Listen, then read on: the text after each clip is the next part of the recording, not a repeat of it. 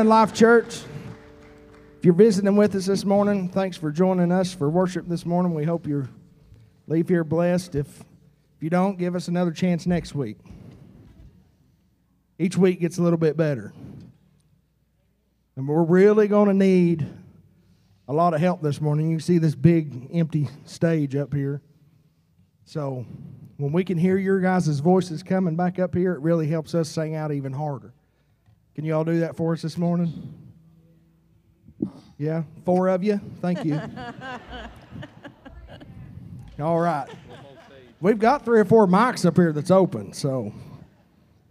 But listen, if you're here this morning you don't know Jesus is your personal Savior, don't leave that way today. You don't have to. This altar is always open, it never closes. I say it every Sunday, but I'm going to continue to say it till the Lord takes me home. Let's bow and have a word of prayer this morning. Most kind and gracious Heavenly Father, so we humbly bow in your presence, Lord. We just want to thank you for all the wonderful blessings you've given us, Father. Lord, for blessing us with another day of life, Lord. Lord, for being able to just come into your house and to praise and to worship you, Father. Lord, with all of us here, there's many needs that that are here this morning, Father. There's many aches, many sorrows. Lord, we just pray that you lay your hand upon them and let them feel your presence, Lord. Be with this service. Be with the ones that make it up. And again, if there be one here that doesn't know your son Jesus as our personal Savior, today be the day of salvation. We love you. We praise you. It's In His name I pray. Amen.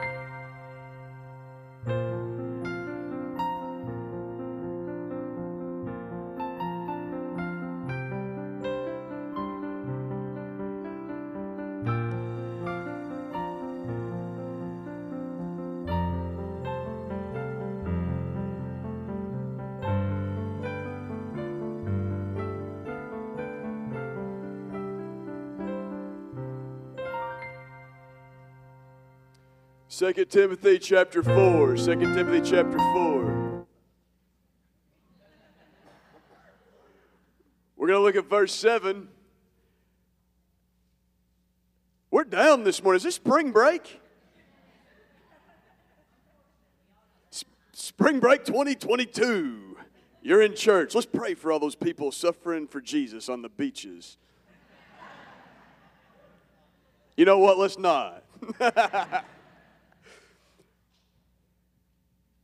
Not long ago, we had a birthday party for my mom uh, at our house, and she's, you know, we asked her, uh, me and my two brothers, what do you want to do? She said, I just want to have a cookout. I want to go for a walk. And like, all right, so we made that happen. And as we're sitting there eating, um, my brothers start talking about this show that they're watching.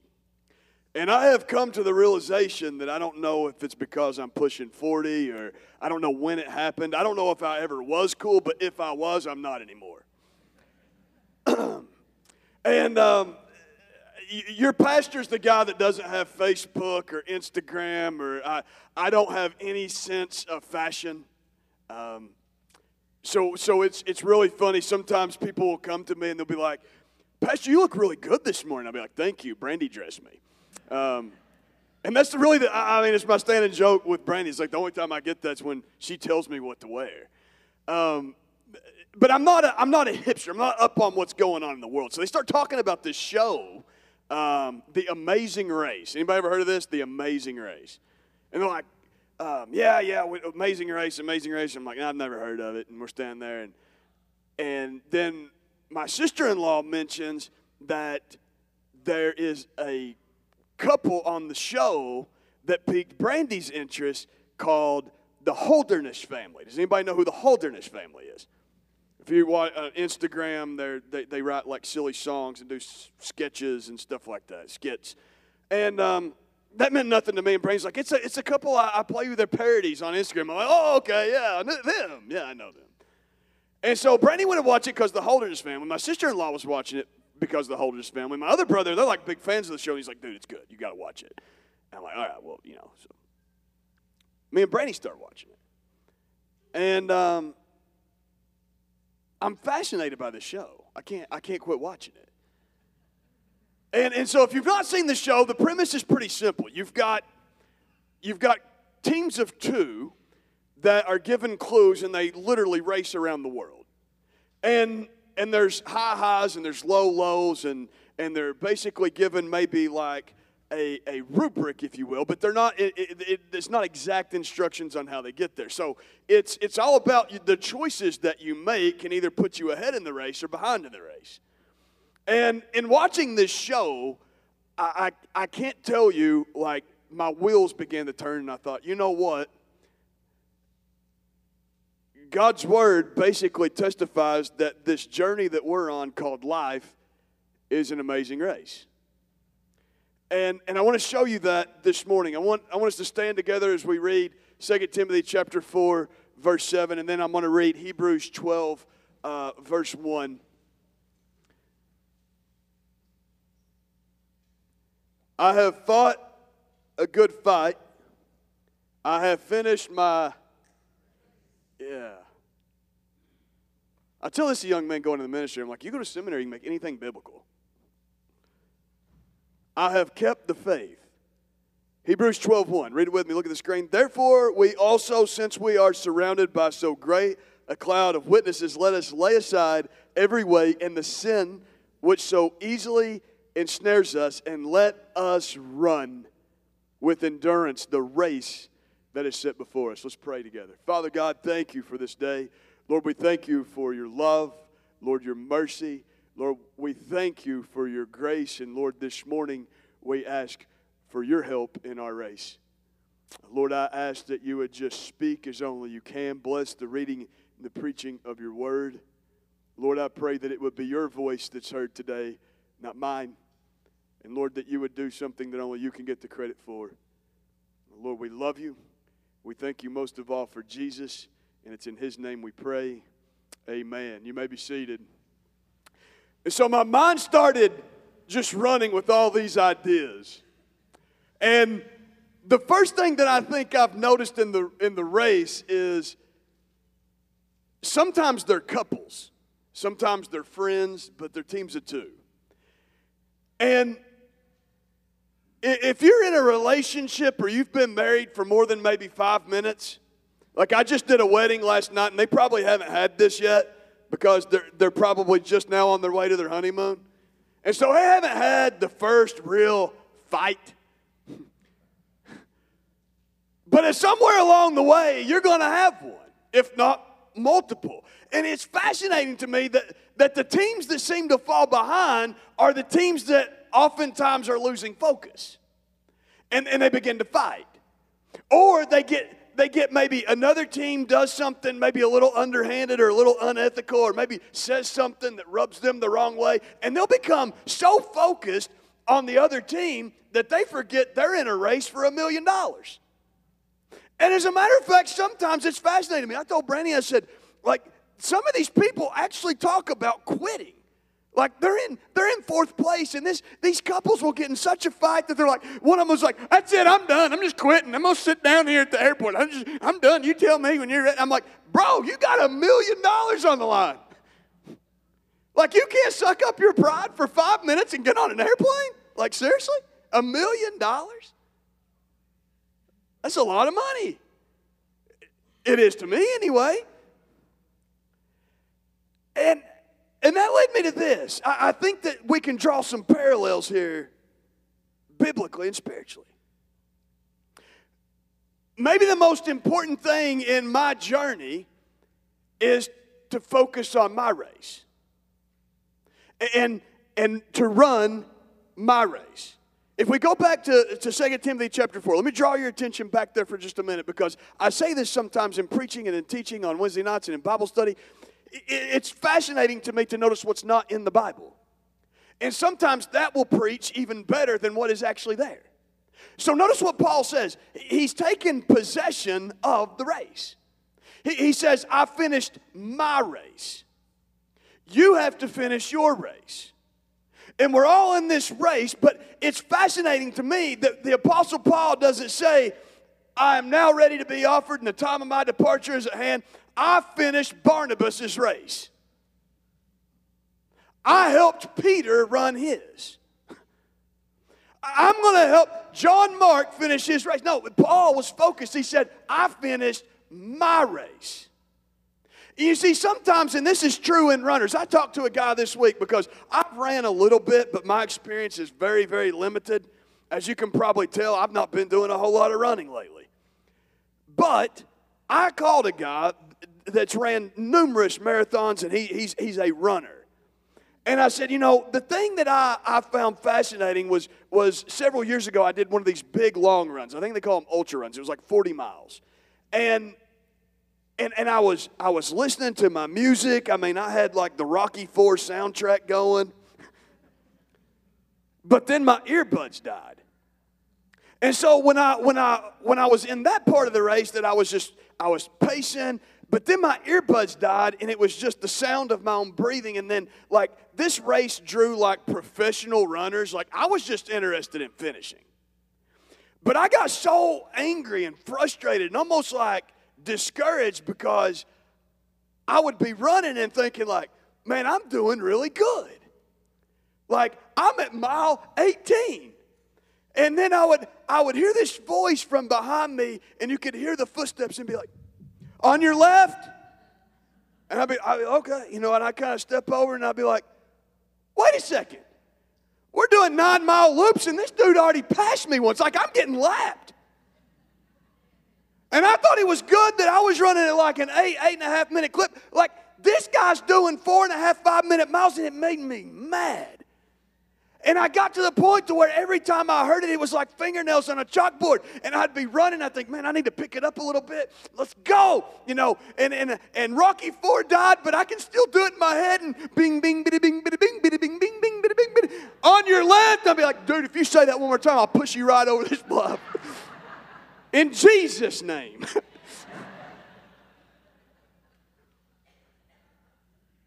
And then I was like, why am I focused on that guy? I'm not running. And I think that we do this. Watch this. I think we do the same thing spiritually sometimes. God hasn't called you to be the person sitting beside you. He's not. He's called you to run your race. Don't watch the other runners.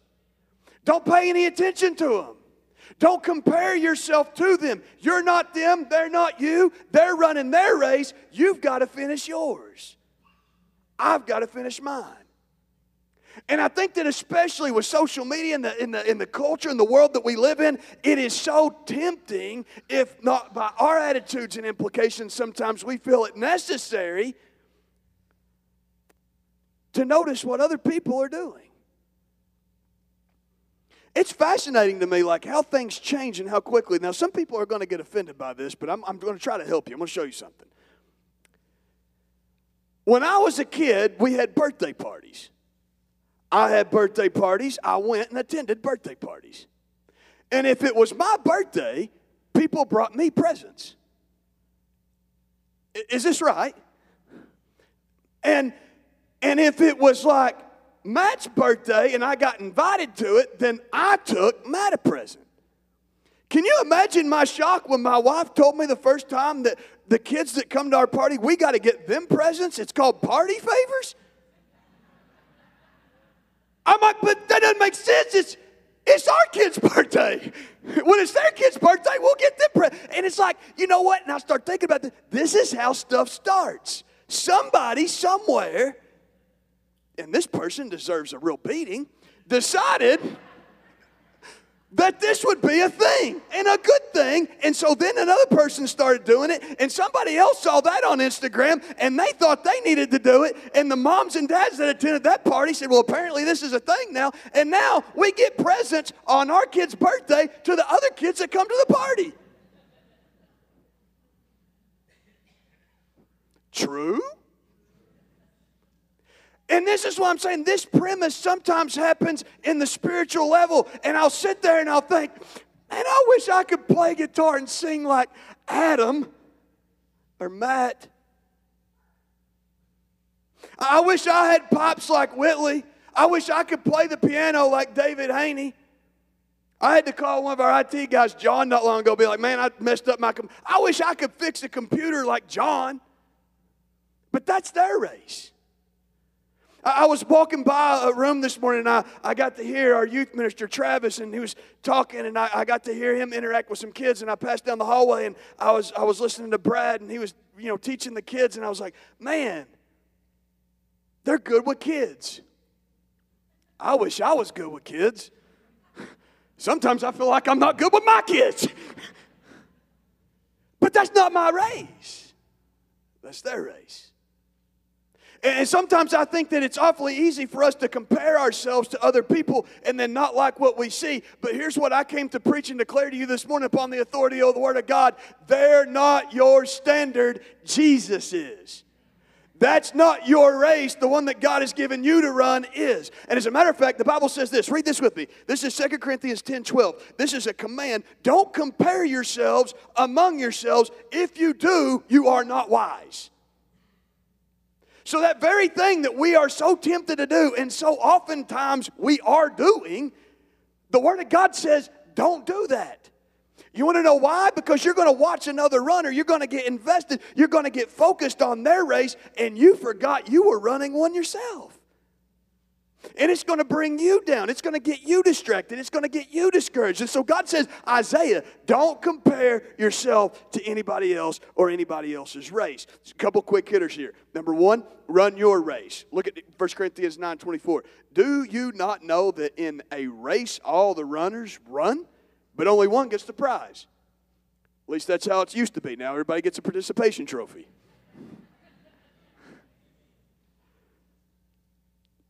I didn't say it was right or wrong. I'm just observing. oh, but wait, it is wrong. Run in such a way.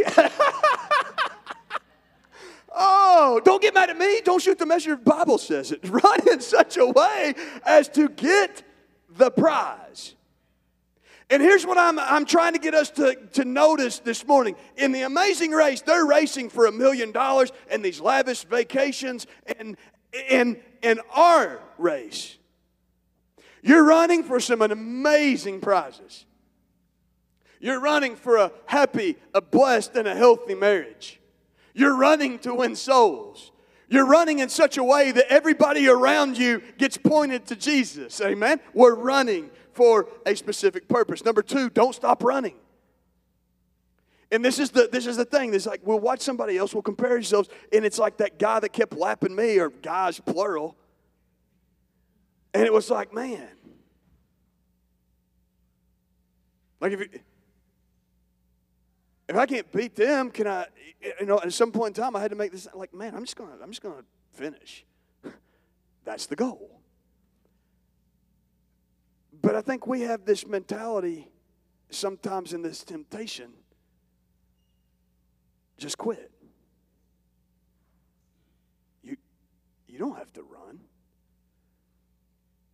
And this is what happened to this church. Look, let me show you. Galatians chapter 5, verse 7. Notice Paul is writing in the past tense. He tells this church, You ran well. Who hindered you from obeying the truth? He's asking this church, he said, There was a time when I was watching you, I was, I was looking at you, I, I, I, saw you running. I know you're capable. I've, I've seen it, Paul says.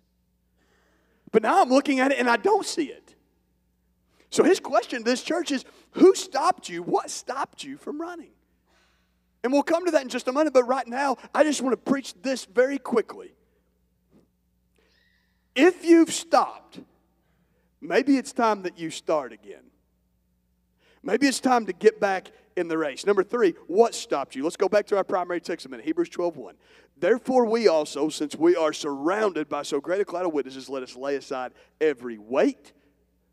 Now, some people are going to say, well, that's sin. No, sin is different. See, it addresses that now. And the sin which so easily ensnares us, and let us run with endurance the race is set before you. If you stopped, and if you recognize now, like I'm not running, or I'm not running effectively, or I'm not running to my full potential, I want you to right now examine yourself, ask yourself some questions. What stopped me? Who stopped me from running? To some people, it could be addiction. To some people, it could be anger. Other people, bitterness. Some people, jealousy. To some others, it's a, it's a litany of other things. I mean, it could be anything, but identify that thing, then give it to God, confess it, and then get back in the race and start running again. Stress, bitterness, all these things. Number four, focus on the finish. Again, going back to distraction. Look at 2 Timothy 4 7 again. I have fought a good fight. I have finished my race. I have kept the faith. Philippians 3:14. I press. The, the word press there, you're looking at the transliteration. Um, you, you, want to learn a word this morning? Everybody say D. Not everybody's playing. We're going to play we're not. Everybody say D. O. Co. D. O. Co. There you go. See, now you're a Greek scholar. Huh? You're welcome, America but, but it means to run swiftly. And, this is the picture that the Apostle Paul's drawing. He says, like, not only don't compare yourselves among yourselves, church at Corinth, not only who hindered you, but you need to focus on the prize because there's a prize, there's a finish line. Focus on the finish. Set your eyes on that and run swiftly in that direction to the believer in Christ Jesus, it would be like this like, once you understand the course, once you understand what God has you to do, then get on that path and start running and do it as fervently and as fastly as you possibly can. Many people can't focus on the finish because they're focused on their failure. And something that happened way back here is now hindering their running here. And they're allowing the past to dictate the present. And what I'm preaching to you is, is if, if there is ever a character study that that could have been true for, and probably should have been true for, it is that of the Apostle Paul. And we're reading all of his writings. And, and I want you to think for just a minute just how Satan knows how to whisper in your ear, in my ear, to get us distracted and to get us discouraged. You don't think he did that to Paul? Bet he did. And I think this is the reason that Jesus decided to give him a brand new name because his old one was not that good. And I think I, I would be willing to bet even that Satan came along and told him, like, oh, you're going to go preach at Corinth. Neat. Hey, remember that time uh, Saul, I mean, Paul, but you're kind of the same person, that you were like killing those people? Wasn't there, a, wasn't there a guy that was preaching the same message that you were going to preach, but you didn't like it, and remember you were going to have him stoned and then did? W- Weren't you the very guy that was persecuting the church? Now you're going to be planning them? I bet you there's a crowd there, Saul. I mean, again, Paul. And he says these things, and he says, No, no, no, listen, I'm not going to focus on my failure. I'm going to focus on the finish. And he did. And at the end of his life, he said, I finished my race. And it's not about how I'm doing now, it's about how I finish and when I finish. Number two, roadblocks and detours. I told Brandy, like, this is, this is my one pet peeve in the show. Every time this comes up, the host, Phil, explains to you what these two things are. And I thought that I would have this memorized by now, but I want to make sure that I don't mess it up. Uh, a roadblock is a task that only one person can perform that must be completed before the race can continue. So it's some kind of obstacle, some kind of game.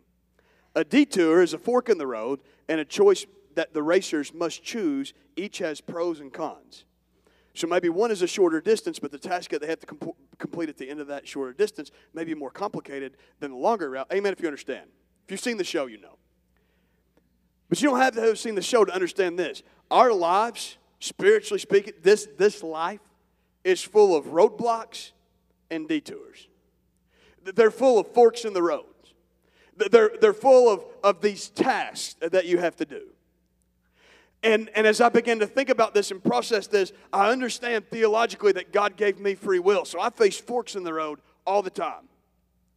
And, this, I think, is the litmus test for us as the racers in this amazing race of life is if I go left or if I go right or if I stay straight, which one honors God the most? That's the litmus test. And in which way is God going to receive more glory of me going in which direction? Then you've got these detours, these roadblocks, man. I mean, have you ever been, and I'm not going to ask you to answer out loud, I'm not going to, have you ever been in a season of life where it just feels like it is just, instead of coming up roses, it's coming up like black licorice?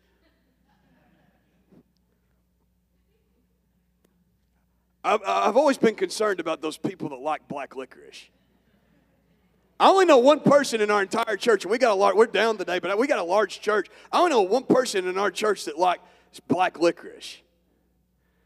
His name is, well, I don't want to give you his name. I got to keep confidentiality and stuff like that. I'll give you a hint. It, rhymes with bat moling. And if you can get it from that hint, then you can continue on your race. but but in a season of life where you're saying, man, I didn't see that coming. I don't know how I'm going to get through this.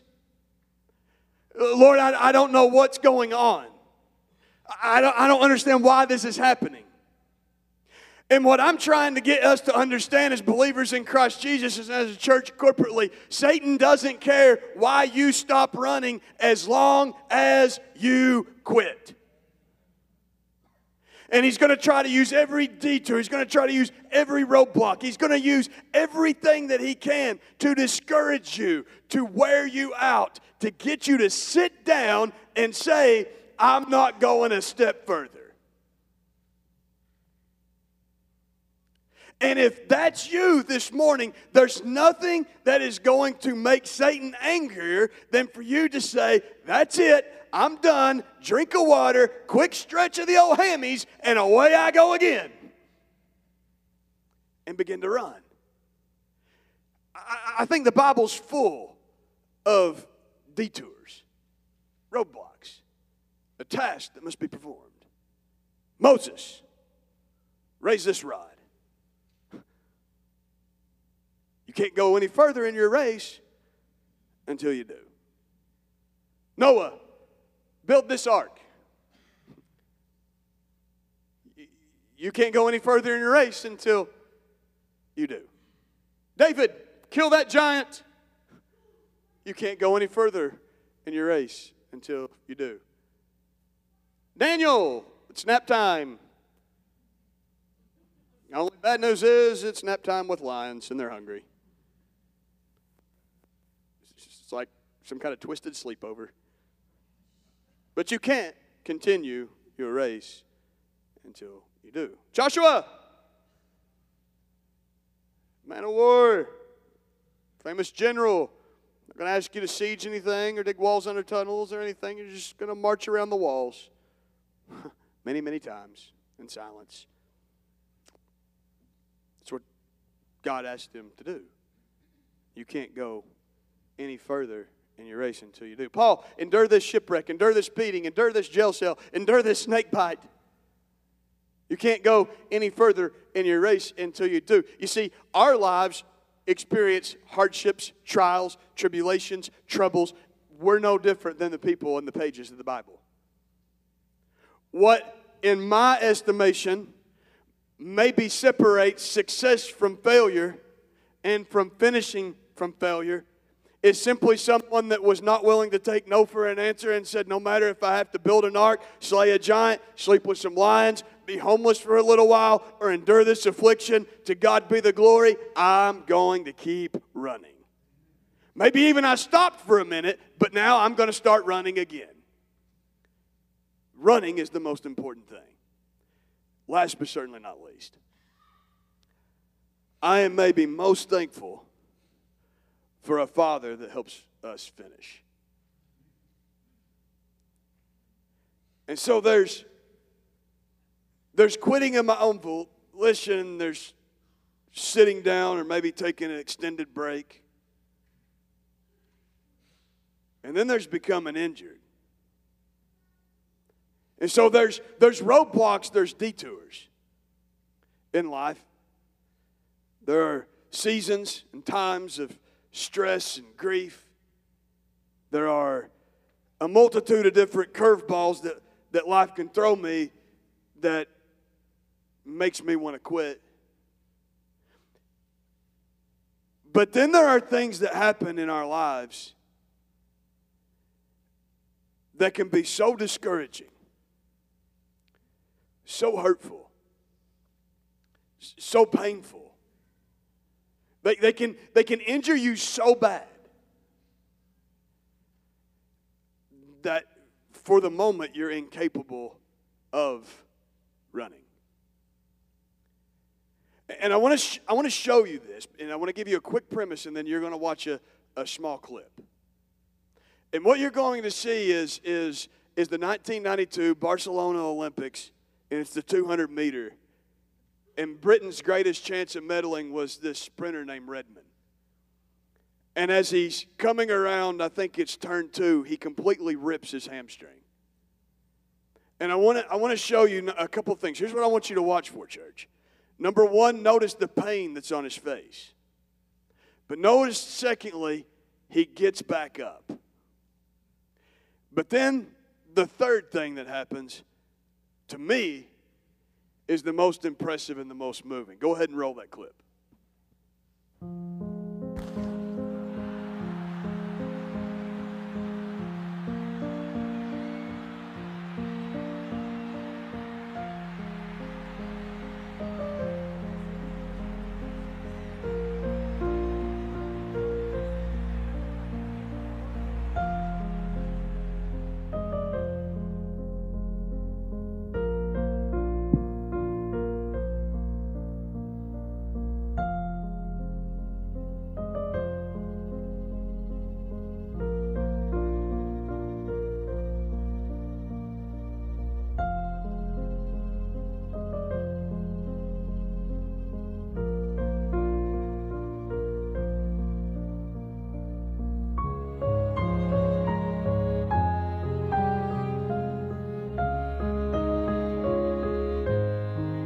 Man that's just coming on the track is his father. Security tried to tell him he couldn't be there. Dad wasn't having it. They're going to come back and try to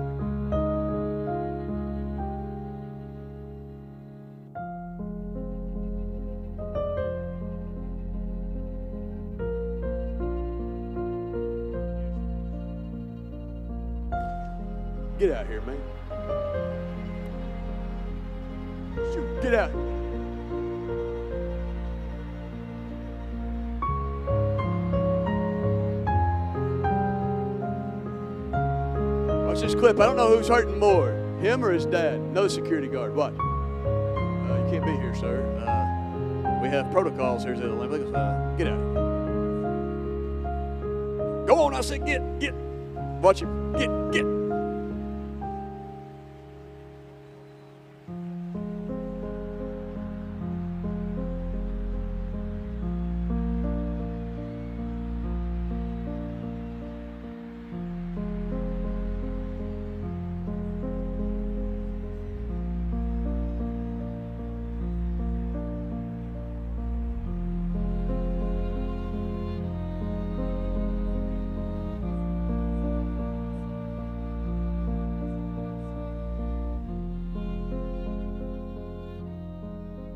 Man had trained his entire life for that moment. And in one instance, it all went away. You can see not only the physical pain, but you can probably see the emotional pain on his face. A season in life where physically nor emotionally he, he was trying, he was giving it his all, but he, but he couldn't go anymore. He was too injured. But the thing that's so powerful and moving to me is the father that jumps on the track and runs to his son and puts his arm around his shoulders and basically carries him across the finish line. I'm glad I serve a God like that. I'm thankful that no matter what's happening in my life, He's got an inclined ear. I'm thankful that when life gets at its worst, I have a Father that will help me finish. I'm thankful that no matter what's going on or how bad life gets or how painful the moment is, He never leaves me nor forsakes me. And no matter what Satan tries to throw at me in that moment, the Bible teaches, even in the book of Job, that God has a protective hedge around us and that Satan cannot get in and cannot do anything unless the Father lets him do it. And I thought about that so many times this week. It's like there's these moments when, when God allows that. And I don't know why I'm not God and I'm not sovereign. But he does. And then there's moments, and I, I, had that moment this week. I was like, man, I'm thankful for those moments when God tells the enemy, no, he's had enough. He's not taking not more, more of your blows. I'm taking all the darts for him. And herein is also the gospel message. That's exactly what Jesus did for you so that you could be in the race. The Bible says he took your sin, he took your punishment. He who knew no sin became sin. And so I want to challenge you with a couple of things as we close. If you're here this morning and lost, you're not in the race, and it's time that you get in. And the prize is heaven and forgiveness and a personal relationship with the Son of God. Two, maybe you've sat down. Maybe been on a long break. Maybe it's time that you got back in the race and started running. Maybe you're here this morning and say, you know what, I'm running. I'm just not running very well. I'm not living up to my full potential. Do that. Or maybe you're in a season of life where you're injured and hurt. Tell the Father, and He'll help you finish. You see, we serve a God that's willing and ready to provide whatever need that we have to finish this amazing race. So I challenge you this morning, whatever your need is today, come. Let's pray together. Father God, thank you for this day. Lord, I thank you for your love. Lord, I thank you for your patience that you have with us. And Lord, I, I thank you so much for your compassion, and Lord, your grace and your mercy. Lord, I thank you for helping us finish. Lord, I ask that you would speak this morning as only you can and do. Lord, I pray that you would save souls, change lives, and Lord, help us to do business with you. Lord, bless this, your church, and bless this time of invitation. In Jesus' name we pray. Amen.